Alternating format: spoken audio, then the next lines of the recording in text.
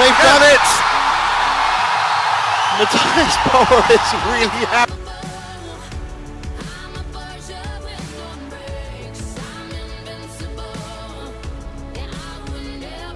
Happy as well, as you can see. 21-19, it was their last chance.